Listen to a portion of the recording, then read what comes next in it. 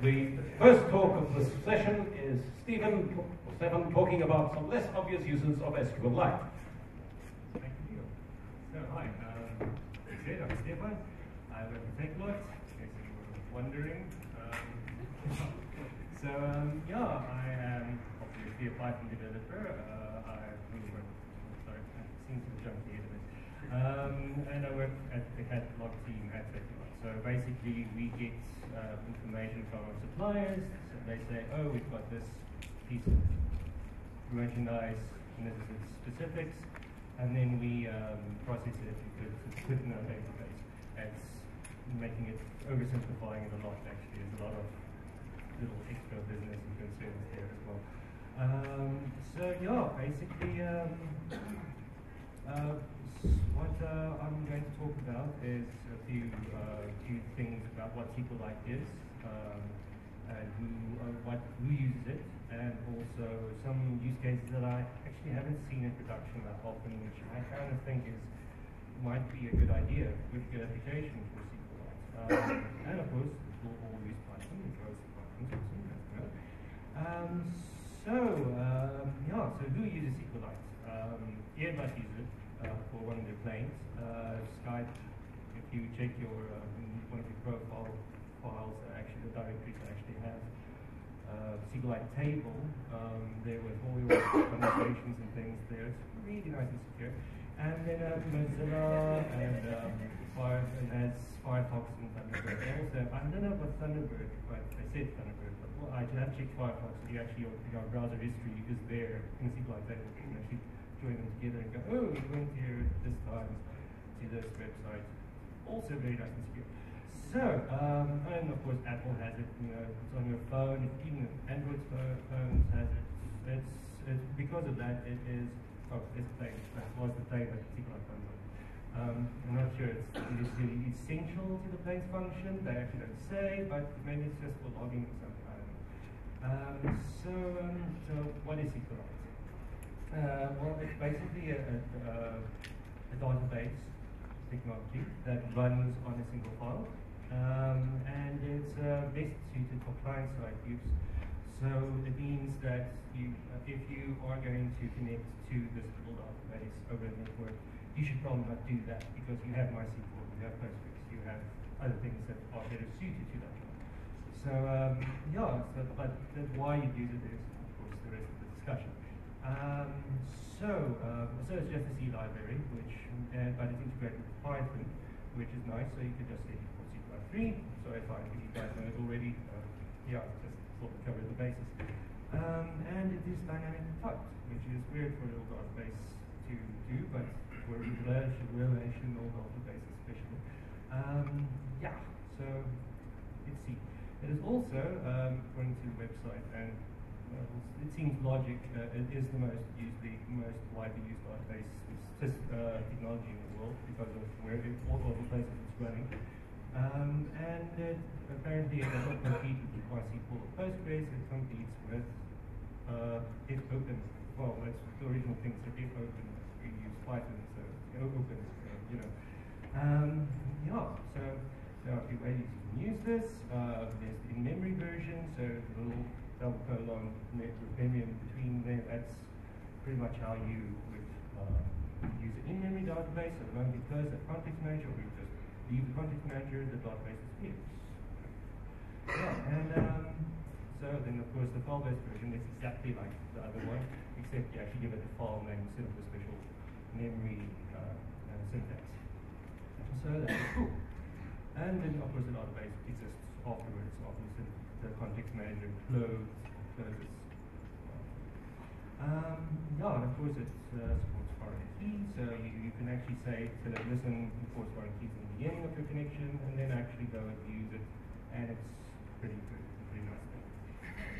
So, um, because I work in catalog, I deal with a lot of flat files, like a lot of CSV and things that are really horrible to work with and query. Uh, so that's why this kind of uh, bit of an interesting point for me, whole season life thing. Um, because um, the flat files are not a, a, a SQL like files or databases in a sense. They're actually more generic than a flat file. Or not generic but better in the sense that it has uh, no new line issues. You know, I've had a couple of times where I had to deal with CSV and then yeah, you have a um, Windows say CSV and then uh, and then it has to open up on a Linux-based thing, and then it doesn't cover the same new line format or something, and it's just a pain to resolve. So that's kind of a nasty one. Uh, blobs. That's another thing that CSV can't do. So you can actually store binary data in your SQLite database. So that's um, pretty neat. You have um, so yeah, you can say store images and audio in your SQLite file if you want to. And uh, its file size is to 240 terabytes, so not much of a limit.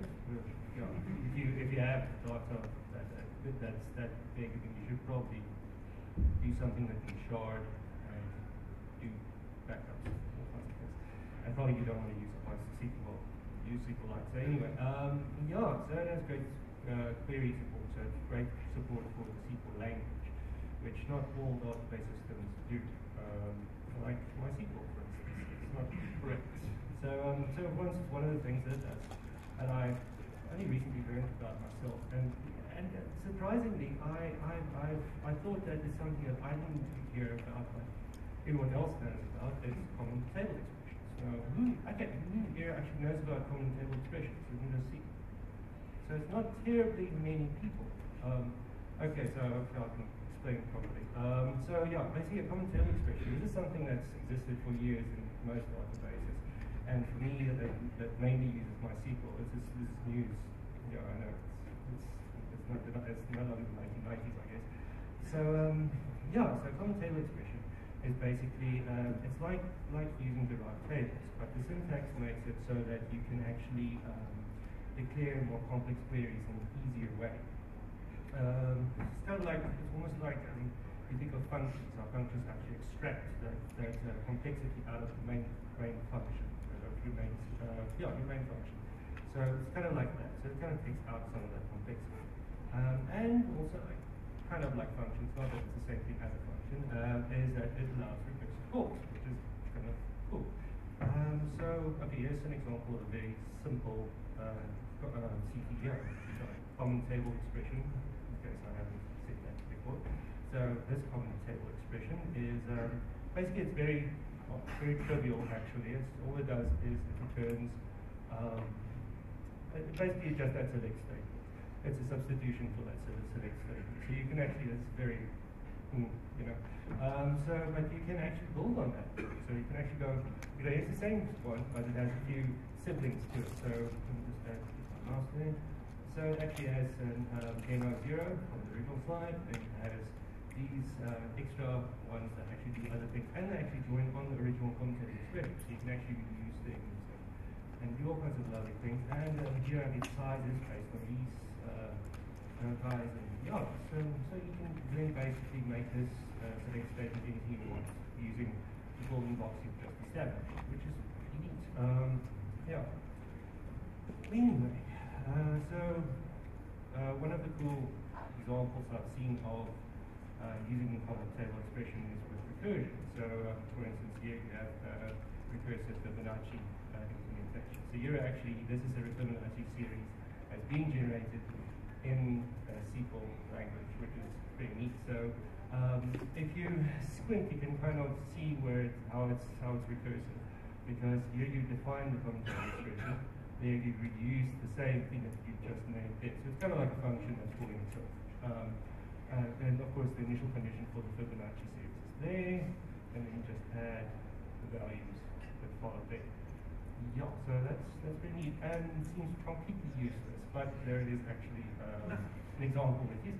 So now, um, uh, yeah, so here for instance we have a table that could uh, represent for you a, a organization, and um, so for instance you have names and bosses, and you, can, you like employees and their boss and you can say, listen, so Alice has two people who work directly under her, and then there are a bunch of people who work under them. And you want to, for instance, see their uh, respective, uh, the organization from her position onwards, and who works for who. So um, you can do that. You can basically, after you set up the table, you can actually go and say, um, so who works for her? So then So, okay, you start with Alice, and say it's level zero, and then you uh, this little thing here. So that gives it just a self join, and um, then you okay. This is just some string magic, so you put it up nicely for the demonstration. So and then you get that. That's pretty cute. So yeah, there are useful use, uh, useful places for this. We in, in the Headlock um, uh, team where work, we actually have a lot of uh, we have a category tree that is uh, hierarchical in nature like that. So it's yeah, uh, this is uh, but yeah, that's another story. Um, so yeah, uh, SQLite uh, has great. Uh, great what I say. So um, okay, so there are three examples which I will get to all, um, which basically explains why I think SQLite should be used in, um, in general. So for instance, there is what, what the creator of SQLite calls an application file format, which is not really a new thing, it's just he's kind of reappropriated it into his own little uh, idea. Um, and then well, manipulation, how SQLite can help with that, and then of course um, some scripting uh, that really could have benefited from or will benefit from SQLite. Um, so, uh, yeah, so application file format is um, it's anything like an Excel spreadsheet or a PDF or a Git repository directory. It's anything that basically saves an application state after it's been switched off. So, um, or after it exits. Um, so, yeah, SQLite can fit into this category. You have something that actually um, because, for instance, uh, with uh, Excel spreadsheet, you have something that's relational in a sense too. You have your information that's stored, and then you have in, inside an Excel file, there's a bunch of XML that references other XML inside the same file. Uh, so, but XML, as far as I can tell, doesn't enforce referential integrity like like that. It's all the application's job to do that. So SQLite, that's actually built into the, the, the system. So to speak. So is something that the application developer doesn't have to write himself, which is really great to use of it.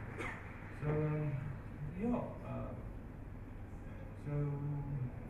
Okay, so, um, yes, so basically based on this, so you Excel, and then, for instance, you need that referential integrity type idea, so that for foreign keys is nice, SQLite does that, and you can store binary data, which is also cool, SQLite does that as well.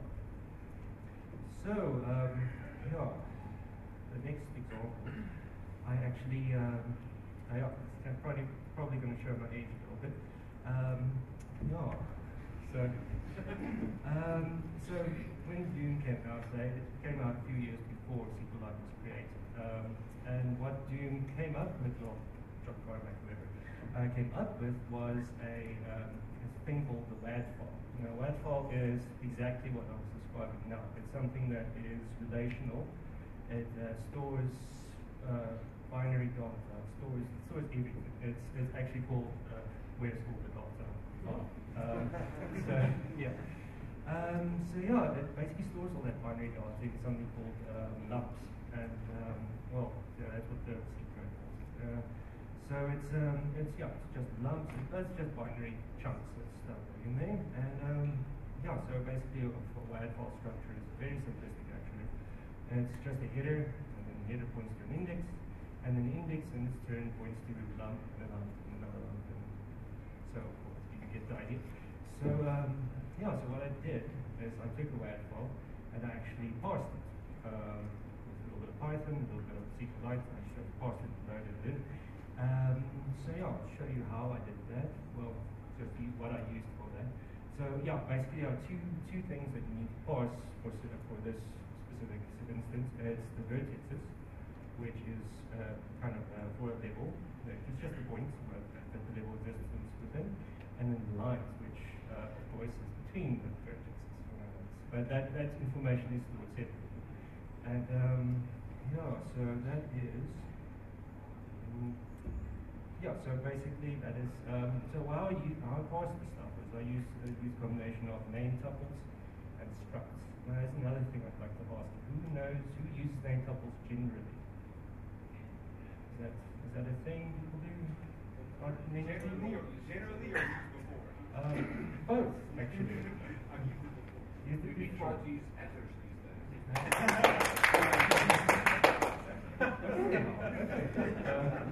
have to find out what British.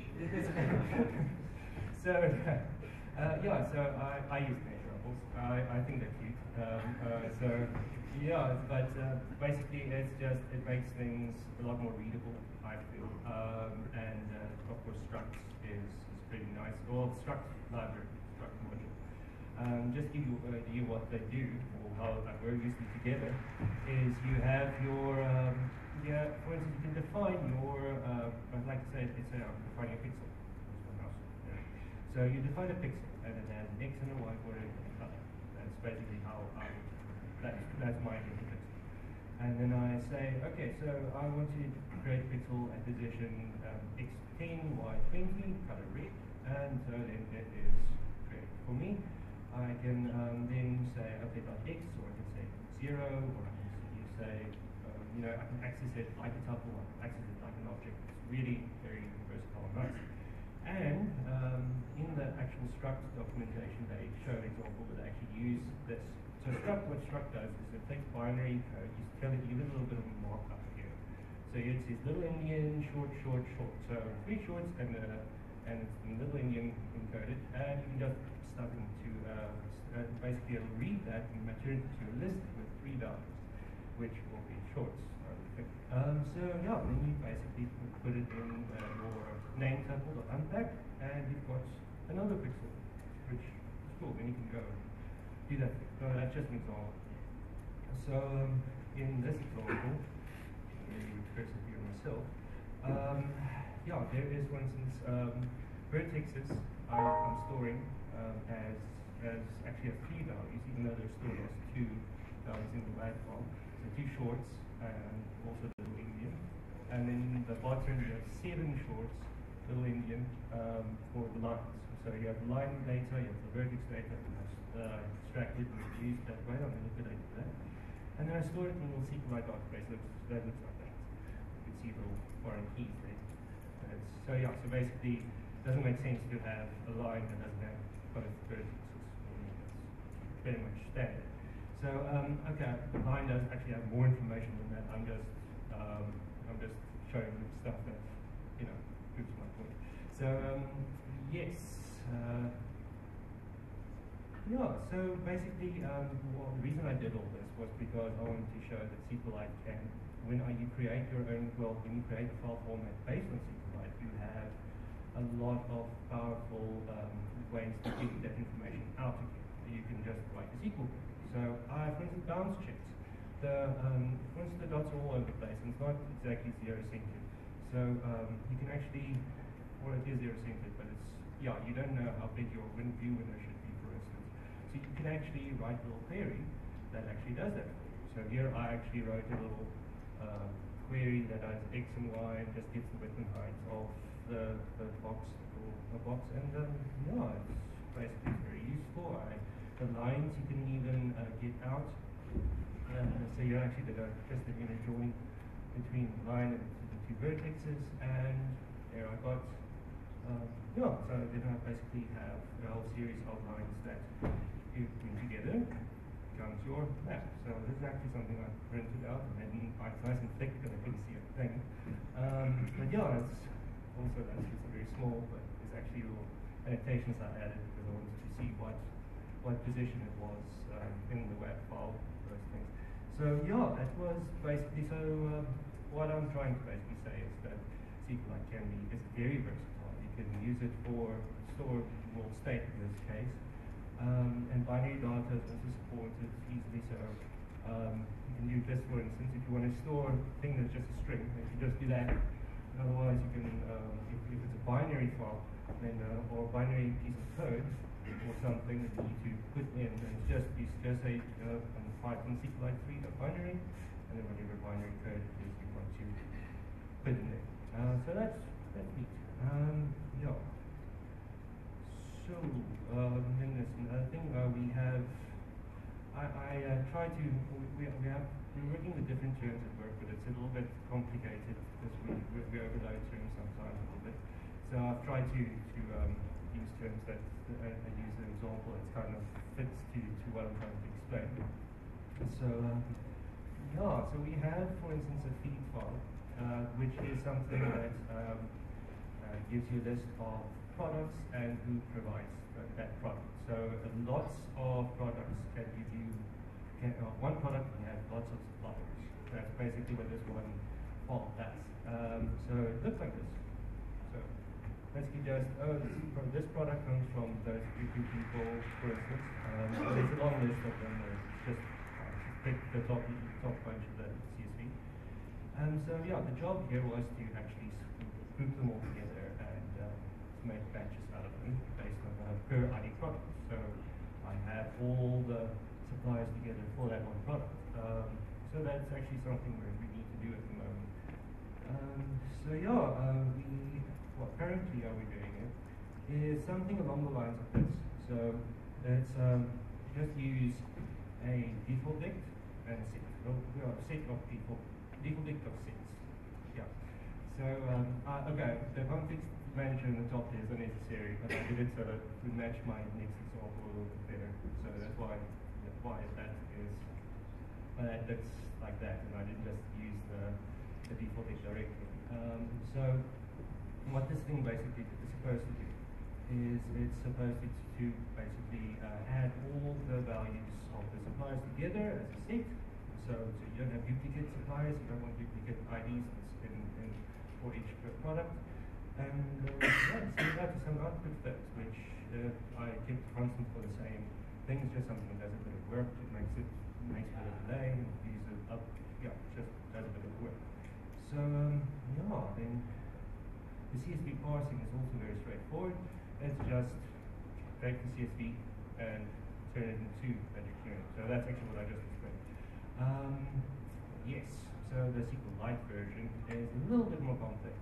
Uh, you basically create a schema, uh, and so just ID product, ID supplier, and then you uh, do a CSV parse like with the dictionary dot, dot add set thing, except this time it's an insert, straight insert, and um, yes.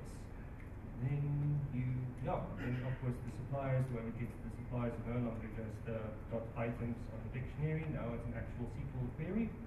So we actually have to get the distinct list of all the suppliers and uh, split them out into, yeah, so basically here we actually get get the same result out, the same format of result out. Um, so yes. Yeah. Okay. Maybe I made a mistake here, but uh, because yeah, uh, it was I did this all in Python 3, and then I saw the slides didn't fit when I said yield from. So I see now there uh, there's an error there. So yeah, this is actually uh, that doesn't make sense because that's going to send out the entire which I don't actually want. I actually want to send it in little, little, uh, little, like break it up, duplicate the ID product for the supplier. So that's a bit of a mistake, fault. But um, yeah, the code is consistent. It's just my slides here that are now messed up.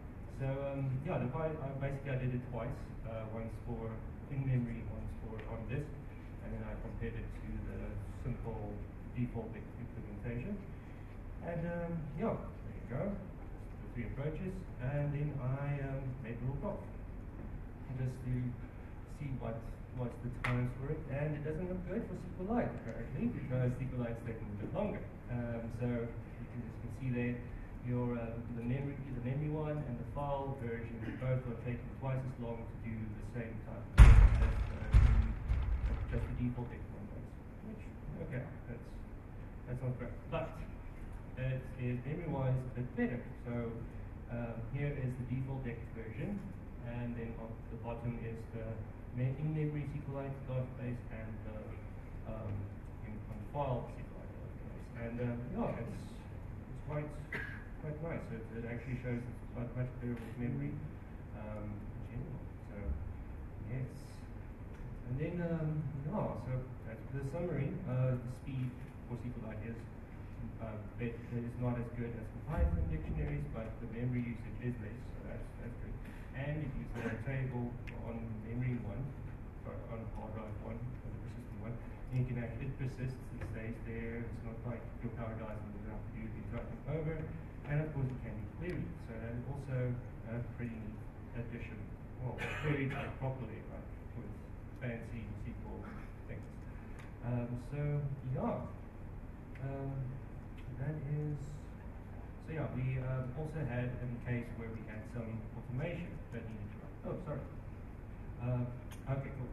Um, yeah, so, hmm, yes, we have, so we have a, uh, basically uh, some images that need to be extracted from the file, and uh, basically it's a feed file, another product feed file basically tells you, oh, here's this product, but this time it tells you there are images that are associated. And um, originally we actually, uh, the idea was to get the images uh, from on offsite server as specified by the file, uh, but it but need to get only the new ones and it needed to batch batch the, uh, the files it for processing first and it had all of requirements. So we used Bash for for it initially because it's, it's a quick thing, it's a quick thing, which you know, turns out quickly doesn't maintainable. Uh, so yeah, here we have. So basically, I just checked that the file existed, um, and then it set up some HTTP scripts. It's a script that generates scripts. In case you were you missed that, and then uh, and then the script that generated was compared to the previous script that was generated. Really bad, but anyway, so so it's kind of like a left join, and um, yeah, so it wasn't great. So basically, and then that difference between the two scripts was was uh, batched, and actually that was used for the curl to get the images. So uh, yeah, uh, comparison here basically the comparison is done. Uh, some bash magic. So you have some file gets piped, and then the basically two files get compared, and then the output gets piped into a zip file. It was very creative. And um, so yeah, the SQL version not as terse, that's for sure, but it's it's explicit, and that's kind of Pythonic, right? Um, so, so yeah, you, you, you, I can, you can see it as a joint, right? That's a joint. It, basically, you see, oh, it's a left join, right? So you can see there's differences because you're checking on something that, you know, checking for nulls. Um, so then it gets inserted into a difference. So that joint gets created and then gets put into a difference list, which is basically the same thing. And it's, it, I, yeah, seems more easier. Now batching is another thing. So we have this HTTP thing that we run and it gets batched and it wasn't great. Now, okay, we actually need to some scrolling. So I took the effective part and did the batching. Then, uh, to be honest, this was me. I did this. This is wrong. Uh, or this is not good. There's apparently a split command in um, Linux that does this for you. So, so yeah, that was me. But um, so yeah, but that actually goes takes your list, um, makes a little makes chunks out of that, and puts it on through the FTP say setup. So it actually grabs things by FTP. So that's, pretty nice. So um, no, well, it wasn't as maintained. Well, this I think I would have preferred. So they were actually do a little bit of a pagination thing. I say, oh, you know, it's, there's a window length, there's a window offset. Which is, yeah, that, that to me seems like a good idea. Well, should, should this is something that I'm trying to do now. And um, yeah, so like I said, my very first well, visit, and it can support continue, which is also cool. So you can actually alter the table um, and, add a was it dated flag, for instance, and then write, make queries based on that. So it actually uh, it's more extensible. Um, yeah. So yeah, just some takeaways. Um, yeah, SQLite is very uh, underused, I feel. Um, and in Python can make it easier to, to work with because you can do all kinds of lovely things with context managers, other context managers. Um, so they are basically for here. Uh, SQLite doesn't doesn't know remember you keep on foreign keys. So you can just say, oh here, keep on foreign keys, you can send me a cursor to work or a connection to work with and you can actually go and do that. This is a bad example because I'm not actually using the connection anyway. Oops. Well, you know what I mean. Um, so yeah, that's me.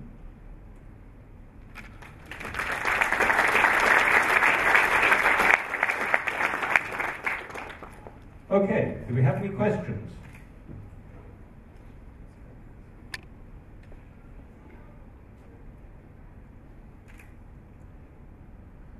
Okay, in which case let us thank our speaker and we have a bit of time to kill before the next talk.